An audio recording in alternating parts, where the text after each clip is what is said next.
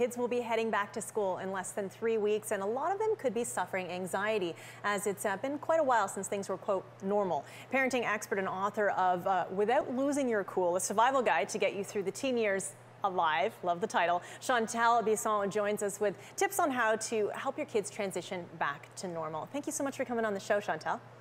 Thank you for having me. It's great to be here. Well, you know, we all know the last year and a half has been tough, and then you add being a preteen teen, going starting grade nine into the mix, mm-hmm. and all that comes with that. I mean, even just starting grade nine alone comes with anxieties and fears. So maybe right. let's talk a little bit about that. Yeah, I'd love to. I mean, obviously, we've all been there, done that. We've gone to high school. We've gone, you know, we've been the, the this freshman walking in the doors for the very first time, and it's, mm-hmm. you know, it's it's it's scary. Uh, there's so much that goes through a teen's mind. It's like for a lot of them, that's when they sort of break away from their uh, their social circle of, that they've grown up with, either through elementary school or middle school, and that's where they start to go into new high schools and and different regions and whatnot. So already you've got that. You've got like probably separating from good friends, long time relationships, and they're going into school alone potentially. And so they're wondering, am I going to make friends? Is there mm. anybody here who's going to like me? Am I going to fit in?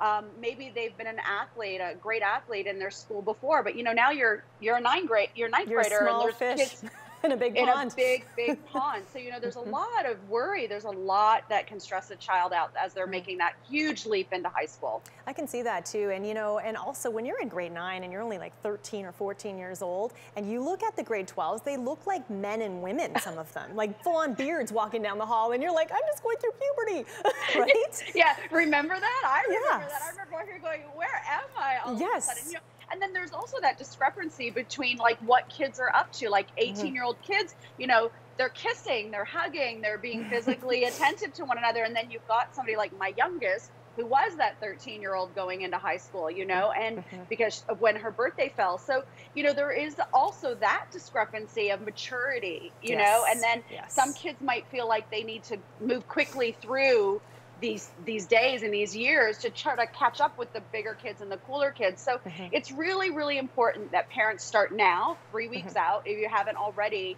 you know, start asking them how are they feeling? What are they thinking about? You know, are they are there anything that they, you know, or anything any things that they're worried about that mm-hmm. like they want to talk about because oftentimes they have these like underlying insecurities and fears and anxieties and they don't think that they're normal. They think that they're alone in those feelings. Yes. So it's really important for parents to open that dialogue and be saying, oh my gosh, I remember when I was going to high school, this is how I felt. This is mm-hmm. what I was afraid of. This is what I worried about. And then your kid will be like, oh, okay, so, mm-hmm. you know, mom gets me, dad gets me. Exactly, and these are real conversations, and that's why we go back to your book. Um, your book is doing very, very well on Amazon, very successful. We want to pe steer people in that direction, right, Shantelle?